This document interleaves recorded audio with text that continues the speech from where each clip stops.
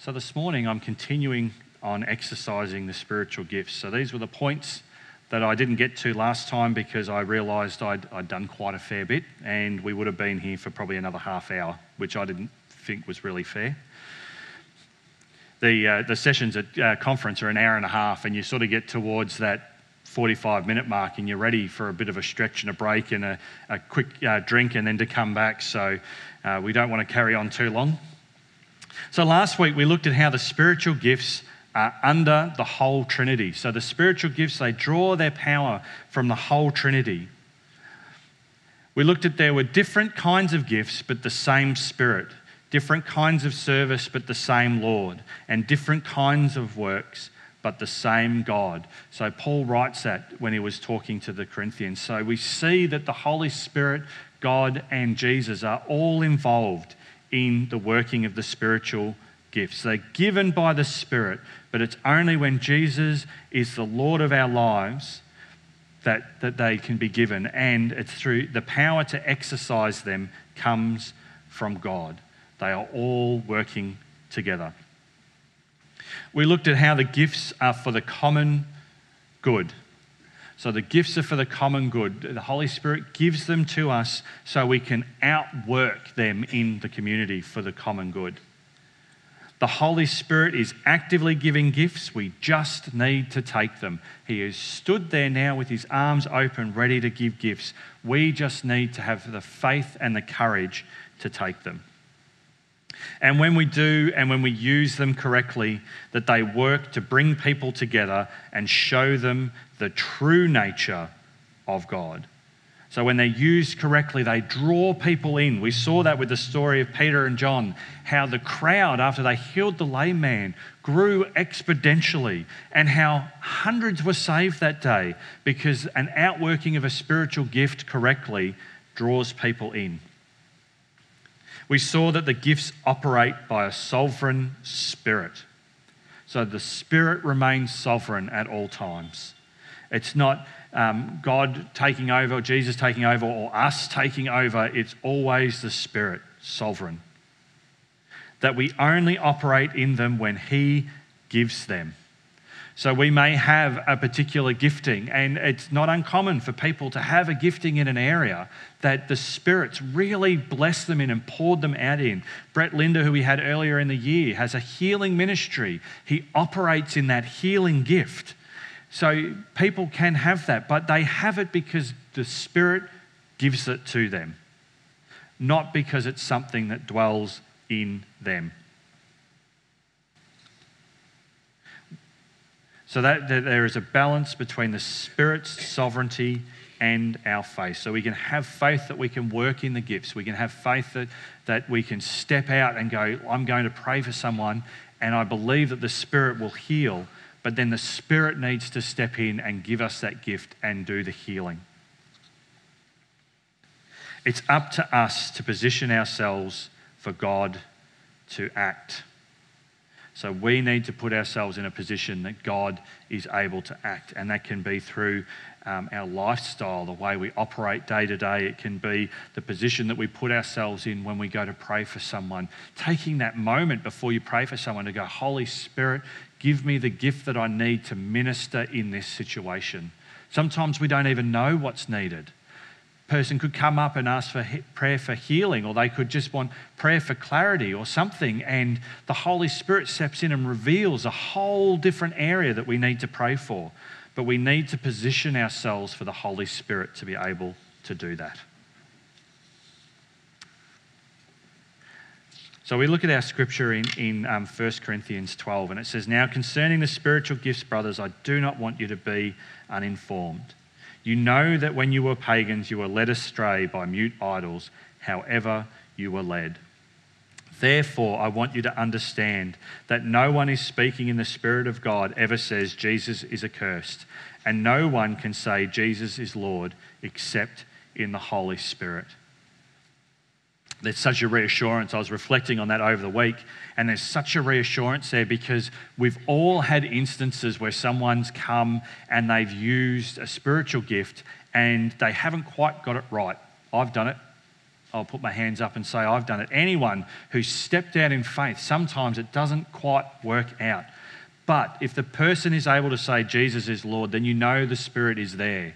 They may not be listening to him fully, but he is there. So we need to um, be reassured then that even though we might have those instances where someone just really misses the mark or doesn't quite achieve, if they're saying Jesus is Lord, you know the Holy Spirit is there. There is, there is something at work there. Now, there is a variety of gifts, but the same Spirit, and a variety of service, but the same Lord. And there are varieties of activities, but it is the same God who empowers them all in everyone. To each is given a manifestation of the Spirit for the common good. For one is given through the Spirit the utterance of wisdom, and to the other an utterance of knowledge according to the same Spirit. To another faith by the same Spirit, to another gifts of healing by the same by the one Spirit.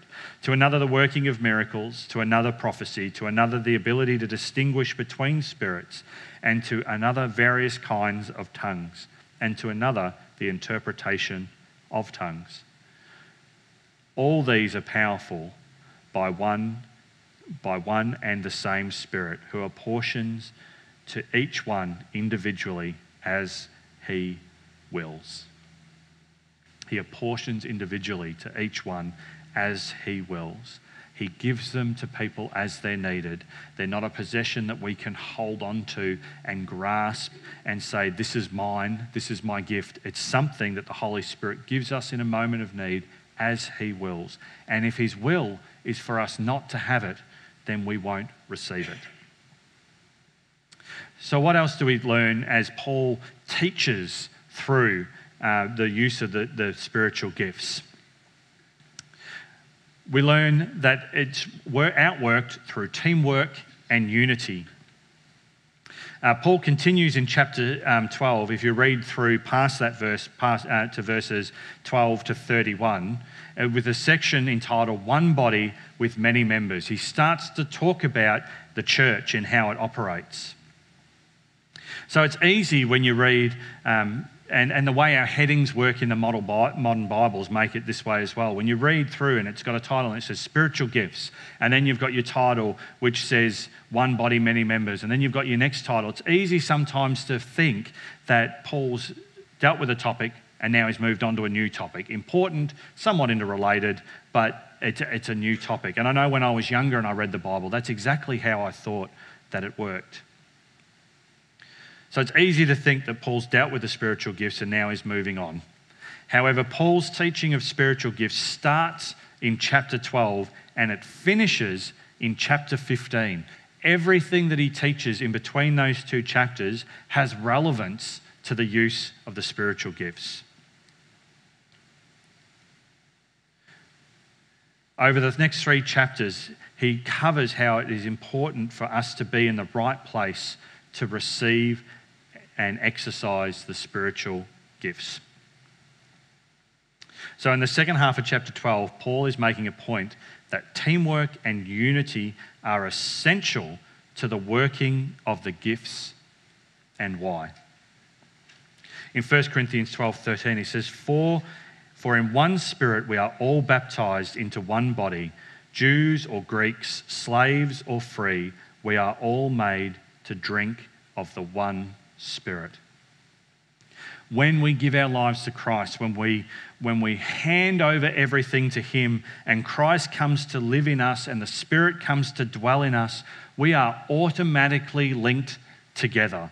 The same Spirit is received by anyone who becomes Christian. It is the same Spirit. We're not talking about parts of the same Spirit. Someone doesn't get the active healing part of the Holy Spirit, and the next person gets the gift of knowledge in the Holy Spirit. We all receive all of the same Spirit. It's also not this spirit or that spirit. There's not different Holy Spirits that we go and receive. And this is something that was a common belief in the time in Corinthians, you know, in their time through the, the Greco Roman religions, is you could receive individual different spirits. It still exists today. If you look at the Hindu religion in particular, they've got so many different gods, and you can receive blessings and infillings from all these different gods. So they're never fully united, they're always somewhat separate. And different gods fight against other gods and can't stand them. So their people do the same thing. And what G, um, Paul is writing here and what Jesus did in the cross is he gave us the same spirit so we are united as one.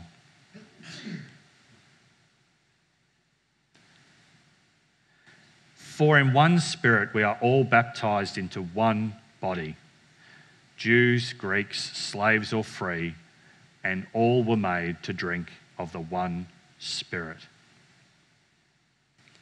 We see the results of this in every major move of the Spirit through the Bible, in Acts in particular, where they're talking about um, the Acts of the Apostles and the Spirit moving in power in that region. But if you look through history and you read where there's been spiritual revivals, we see this repeated time and time again.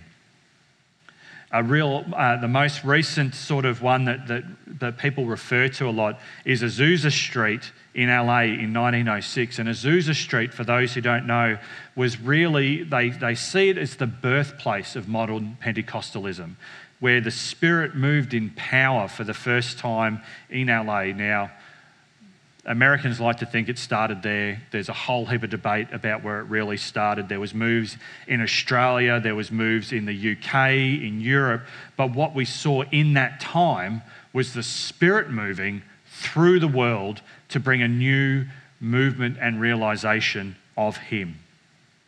But in America, when you look at their meetings, they included every race, they had every culture, they had every denomination, they had sections of society that would never mix, some of them because the laws of the land didn't allow it, mixing together, worshipping together in the Spirit. They were one body. The Spirit filled them and all the barriers that were there the cultural barriers, the denominational barriers, the race barriers, the legal barriers were just shattered and thrown away, and they worshiped together as one.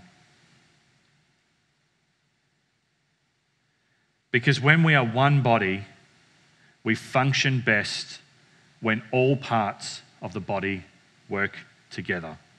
We work best when all parts of the body work together. I'm sure most of you have seen, because this is a common comedy thing, where someone gets a numb arm, they've had surgery or something, and they've had a numb arm, or their face is numb, and they try and they do something that's normal, and you know, like they throw their arms around because they can't move them, and everything becomes awkward easy, everyday tasks become awkward. It's the same for us. If the body of Christ isn't working together, if it isn't united and working in teamwork, then we have that numb arm.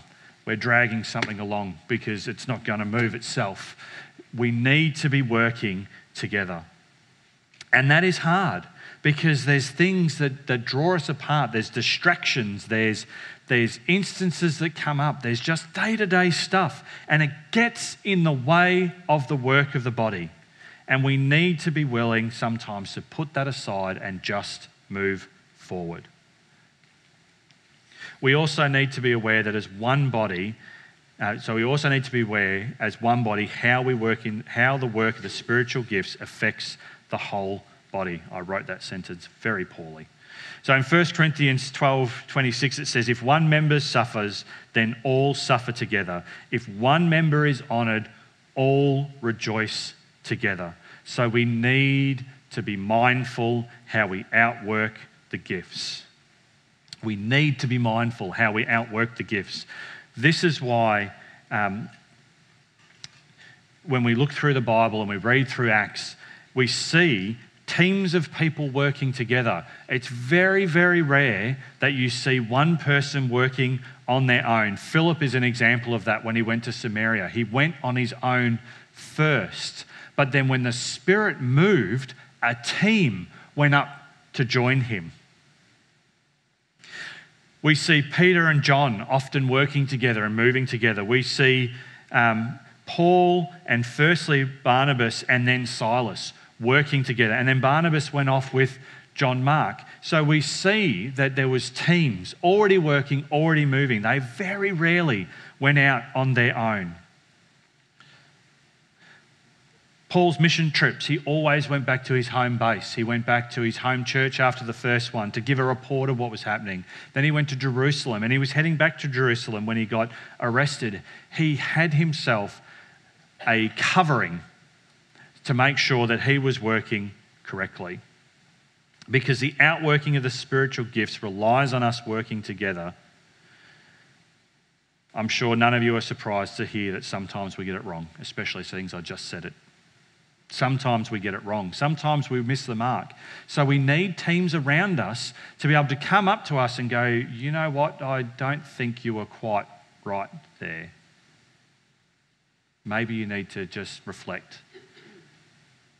It may not be that the word that you're giving is wrong or the way you've gone about it is wrong. It might be the outworking, your attitude in the outworking. It could be a whole number of things, but if we don't submit ourselves and allow ourselves to have people come and talk with us and lead us, then we risk ending up in a place that we can do real harm. An example that I was reading about was a lady who felt she had a prophetic gift and she was in the church, but she didn't exercise her gift in the church. She caught people in the car park or she'd go into their homes and she would give a prophetic word. And that the pastor of the church became aware of it and went and spoke to her and said, Look, I'd really prefer that you didn't do this. If you're going to, you know, if you feel you've got this gifting, then we can we can bring you into this and we can start seeing how that works. And and she didn't listen. And then one day she gave a prophetic word to a lady that was pregnant that her, she was going to have a son and he was going to be blonde and he'd have blue eyes. So when a girl was born who had dark hair and dark eyes, she realized that she didn't actually have the gifting that she thought she had, but she hadn't been willing to submit herself to the covering of team. She hadn't allowed herself to be led. So a, a potential prophetic gifting was stopped.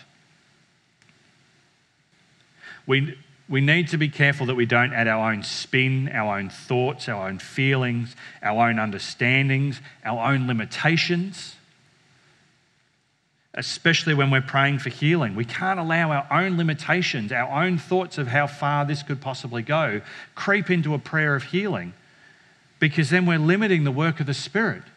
Because if we speak those words out, the person hears it and goes, Oh, that must be the end point of this. That's where it stops. And that's where working as teams, praying for people in teams, and submitting ourselves to teams allows us to have people just to go, I think that may have been you, Bill.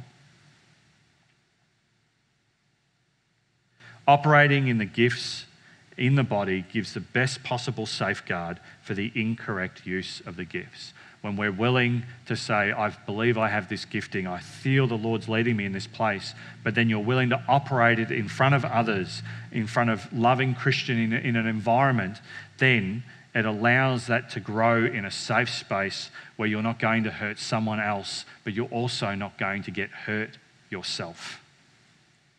Which brings us to our next point. The spiritual gifts are best exercised with anointed leadership.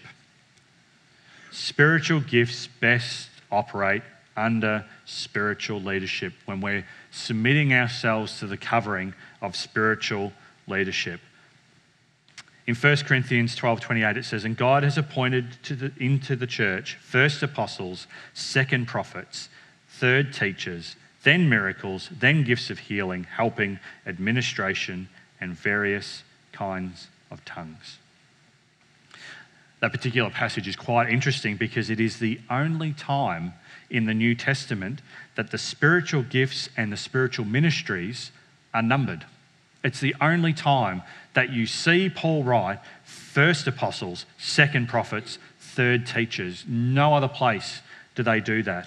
We see the fivefold ministry gifts, the gift of the apostle, prophet, and teacher, ahead of the more spectacular gifts of healing, performing miracles, and tongues.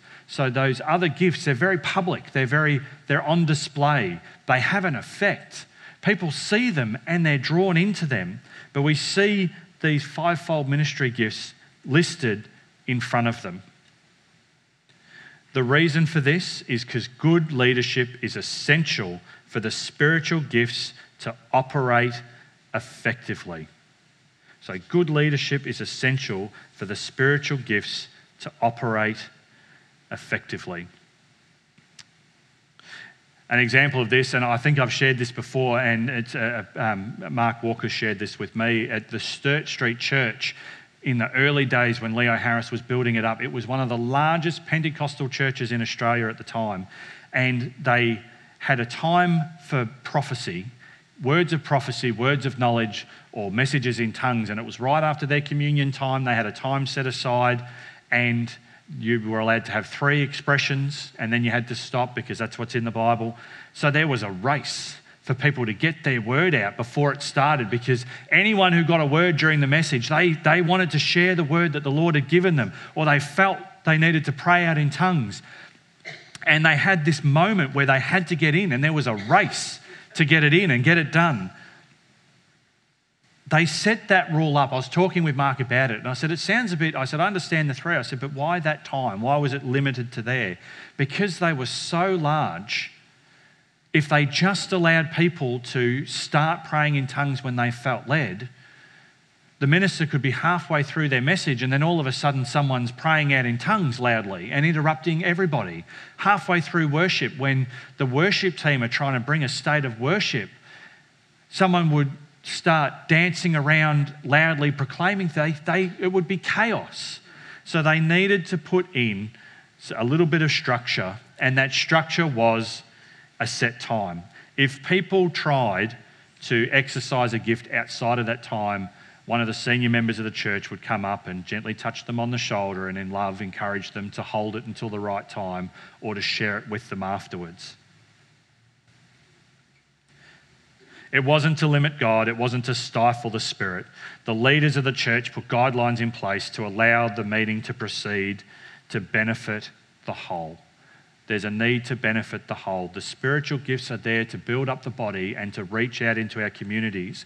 But if they're being used in a way that people are missing out, then they're no longer benefiting the whole. They're no longer for the common good. And it becomes more about the person using them than it does about the outworking of the gift. Good leadership follows the prompting of the Spirit and creates a safe environment for the outworking of the gifts. We do that here. People come up and they say, I think I've got something to share, or if the timing is right, we allow it to move on. But there have been times in the past where we've had to go up to people and go, Enough, you need to stop now. Good leadership follows the prompting of the Spirit and creates a safe environment for the outworking of the gifts. So when we start, so when they start to be used, people are open and, and receptive to them because it protects people. When the spiritual gifts are exercised correctly, when there's the right framework there, people are receptive to them. If it's chaos, people don't know what's coming next. They're going to close off, they're not going to be ready to receive. Which leads us to our next point. The spiritual gifts should be worked in the context of love. You can follow along in your newsletter because Janet's got it there. So, chapter 13, it talks about love. And if you speak love, uh, if you speak in the tongues of man or and of angels, but not have love, I am a noisy, clanging gong or cymbal. And if I have prophetic powers and understand all mysteries and all knowledge, and if I have all faith, so to remove mountains, but have not love, I am nothing. I statements. I statements. I am nothing. I have nothing. Paul isn't saying that a gift used without love is useless. What he's saying is that we suffer when we use the gifts without love. If we operate the gifts without love, it's a reflection on us, not the gifts. Spiritual gifts used without love are far less effective than when we operate from a position of love. We need to use the spiritual gifts from that position of love. There's a reason why it's the first gift of the um, fruit of the Spirit because it's something that should be cultivated in us. Um, I've heard stories of people where they've given prophetic words and they didn't have love in it, and it caused serious damage we need to operate all the gifts out of a position of love. Because if we're using the gifts out of a position of love, then we won't be selfish in our use of the gifts. We won't be wanting to pray for healing so we can feel good, so we can say, Look what I did, or look what the, God, the Spirit did through me. We do it from a position of love because we legitimately and honestly want to see that person healed. Love forces us in a good way to have the other party's interests at heart because the gifts are for the common good. The gifts should be modulated by love. Love also keeps our faith in balance over exuberant expression. And eventually, the spiritual gifts will capitulate to love. In 1 Corinthians 13:8, it says, Love never ends. As for prophecies, they will pass away. As for tongues, they will cease. As for knowledge, it will all pass. When everything else has faded and gone away, when we can't remember words that have been spoken, the love remains. The love remains. As long as God exists, love exists because God is love. There will come a time where the spiritual gifts don't need to be here because Christ has returned and we're living in that new kingdom space. And they will pass away and they'll be done, but love will always remain. So we need to operate from a position of love. They need to be, love needs to be involved from the very beginning of the process to the very end. And I would challenge you that if you can't bring love to a situation, it is better for us to do nothing. If you can't bring love, it is better to do nothing. So, finally, in a fitting and orderly way, we've, we've sort of discussed this already, so we'll really quickly shoot over this one. So, uh, in 1 Corinthians 14 40, it says, But all things should be done decently and in order. So we need to allow space and freedom for the Spirit to move and the expressions of the gifts, but we don't need to fall so far that that's all that we're doing because we're called to do so much more than that. It's a tricky balance to strike. And if, we need, if we're being honest, most churches probably err too far in the other way of keeping the Spirit sort of more bottled up. And at times, we've probably done that as well. And we need to be mindful of that. We need to make sure that we have the balance right. And it's easy to fall into that place because the use of the gifts can be scary the use of the gifts, when we see the gifts manifest, it can, it can challenge us. It can really challenge us. For the Corinthian church and other Greek churches like it was, the, um, Paul wrote this to prevent them becoming like the cults of their day, where they would go into trance like states and they would dance around and it was just chaos. And he's saying, We're not that. We have the true spirit. We need to reflect him in a way that is fitting and honoring of him and not treat him like the other gods that are around. This is something that the church has struggled with since the Spirit arrived. We know this because Paul's writing about it. And the early uh, Australian Pentecostal church had a list of allowable manifestations of the Spirit. They had a list and it was distributed. And if things fell outside that list, you were challenged on that. The person who was um, who had the experience with the Spirit would be challenged as to whether it was really the Spirit. The teams that were involved would get together and they would pray and they would seek the Spirit. Is this of you? Or was this something else? So they had lists. This is something that the church has, has, struggled with. We need to find the balance between spiritual fervour and effervescence and good order. We need to strike that balance. We need the freedom to eh, operate and exercise the spiritual gifts and to see them outworked in our churches and our communities. We need to find that freedom, but do it in a way that glorifies God and draws people to Him and not drives them away. We have all seen reports of churches where the Spirit has moved and the Spirit may be legitimately moving. It may have been an atmospheric thing. And you see what the people are doing. And sometimes, uh, personally, I've gone, oh no. Really? Because sometimes if we get too carried away and we get too into it and it stops being about the spirit and it starts being about the situation that we're in people see that and they get they get drawn back but true spiritual activity attracts people and we need to find that balance. So, in using the gifts, we need to keep in mind the primary principles of how the gifts are used. So they are used under the Trinity, they are used for the common good, by the sovereign Spirit, through teamwork and unity, with appointed leadership, and in the context of love, in a fitting and orderly manner. When we have those things right, we need to be willing to step out in faith so God can step in with power. As I close, I just want to share this quote with you from Pastor Barry Chant. He says, With due respect to justifiable fears that some people go too far with the charismata, the greater danger is most people do not go far enough. What if we go overboard? Well, as I have pointed out, we do need to be careful, but it is worth remembering that it is when it's that it was only when Peter went overboard that he finished up walking on water. We need to be careful, but we don't need to be careful to the point that we do nothing at all. Because if we do go too far, the Spirit is bigger than us. He's bigger than anything we could say or do, and He is ready to pick up what we drop. He is ready to stand in when we do things wrong. Let's pray.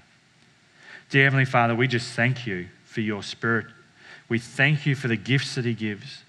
And Lord, we just pray that as we, we start to explore the spiritual gifts and, and the working and the outworking of the gifts, Lord, that you just bring us into a right place with you.